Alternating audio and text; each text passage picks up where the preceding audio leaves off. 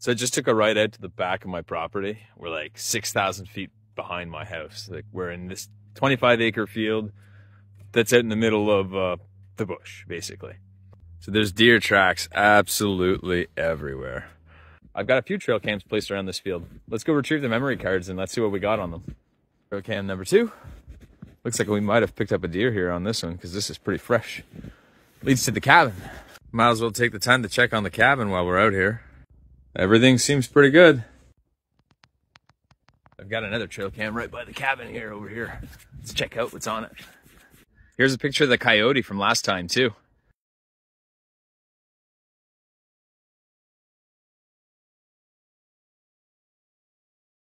Thanks for coming for the ride to the cabin with me.